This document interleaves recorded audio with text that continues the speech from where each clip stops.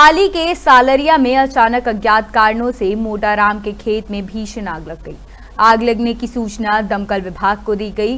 दमकल विभाग ने मौके पर पहुंचकर फायर ब्रिगेड की मदद से आग पर काबू पाया। गनीमत यह रही कि इस दौरान आग लंबे क्षेत्र में नहीं फैली। पाली से जुगल किशोर बावल की रिपोर्ट।